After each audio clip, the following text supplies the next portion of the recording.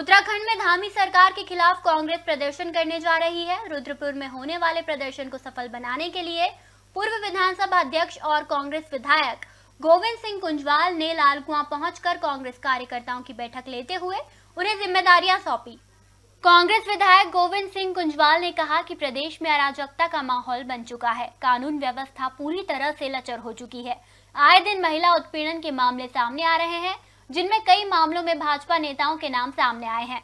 जैसा कि नैनीताल में देखने को मिला, जहाँ दुग्ध संघ अध्यक्ष पर उनकी कर्मचारी ने ही दुष्कर्म का मुकदमा दर्ज कराया है, जिसमें एक सप्ताह का समय बीत चुका है, लेकिन अभी तक आरोपी को गिरफ़्तार नहीं किया जा सका है।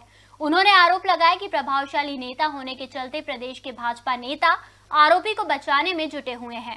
तो प्रदेश के अंदर जितनी भी घटनाएँ घटित हो रही हैं, जो परेशानी हो रही है रोज़गार को लेकर के, महँगाई को लेकर के, विकास को लेकर के इन मुद्दों को भी उठाया जाएगा और सरकार को पूरी तरह से बेदखल करने का प्रयास करेगा। उनका कोई विधायक हो तो हमारा शर्त में जो कांड हुआ है, वो तो विधायक का ही व्यक्ति था उसको बचाने के लिए विधायक ने पूरा ज़ोर ज़ोर लगाया हुआ था।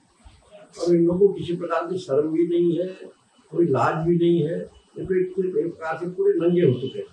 और न इनको समाज की चिंता है और न हमारी माँ बेटी की चिंता है, न भाइयों की चिंता है। सरकार, जो डबल इंजन की सरकार है, आज उत्तराखंड की पवित्र भूमि को इस कलंकित किया ये सब जग ज़ाहिर आम जनता को समझती मुझे ऐसा लग रहा है कि भाजपा सरकार चाहे केंद्र में हो, चाहे प्रांत में हो वो खुली छूट दे रखी है कि गुंडागर्दी करो, बदमाशी करो, अनाचार करो, अत्याचार करो, बलात्कार करो, और हम आपके साथ ऐसे उदाहरण हमारे सामने आ गए।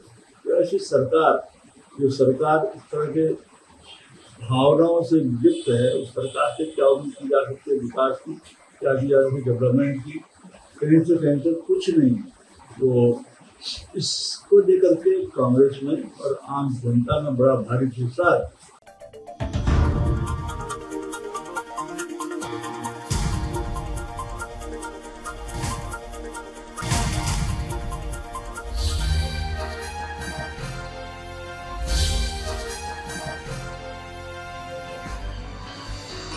आप देख रहे हैं दखल न्यूज़।